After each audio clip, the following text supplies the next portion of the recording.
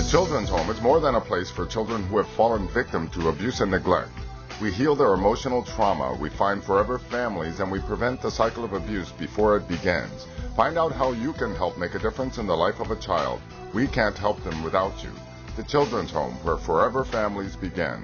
And join us April 23rd for our 20th annual recognition luncheon at the Hyatt Regency downtown. For more information, please visit www.children'shome.org.